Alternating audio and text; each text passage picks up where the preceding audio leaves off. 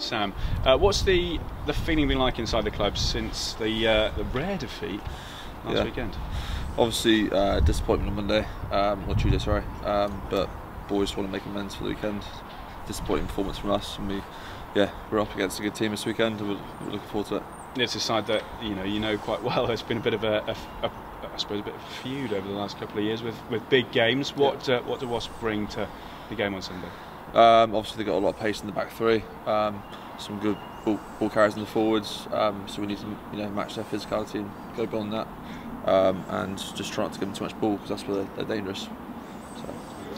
The game on well last week, the, the defeat against Worcester. It was, I think it was the first time that you've you know, failed to. Well, you only scored five points, which is a, Yeah. ra- a rarity against you know the, the, the amount of points and tries you've been scoring. As uh, you know, a, a creative back. What was what was that like playing against that solid defence? Yeah, it was, it was strange. Like you say, we, we normally score quite a few tries in a match, so um, we, were, we were making you know breaks, but we just weren't finishing them off. With, or we weren't clinical at all. Um, our clear out was pretty poor, uh, so there's quite a few things we've been we've been talking about this week to, to work on, and yeah, we'll look to put in practice this, this week. So In a weird way, do sometimes defeats spur players on, and you know you Yeah. want to wrong the right.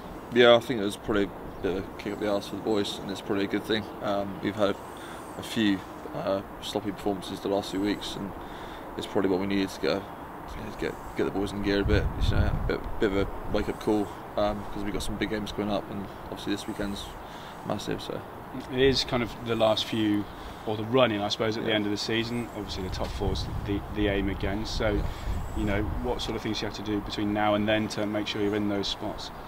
well, it's a bit of a cliche, but I suppose it all starts in working hard and training. We need to make sure our, our training's intense so that um, you know for the weekend we're, we're ready to go for that. Um, and we just you know we set up our physicality from the last few weeks. That's that's always been big in our game, and that's you know one of the things we need to need to notch up a bit.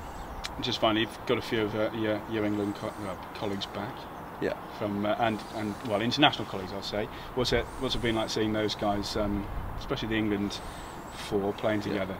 Yeah, it was really good. Like Hep said earlier, um, you know, it's good to watch those guys all play together against Italy, and I thought they all, they all came on and played really well. So, and you know, to get to get a few tries from those boys and see them all celebrate together was, was a real, real proud moment for the boys watching them. Fantastic. That's it from me.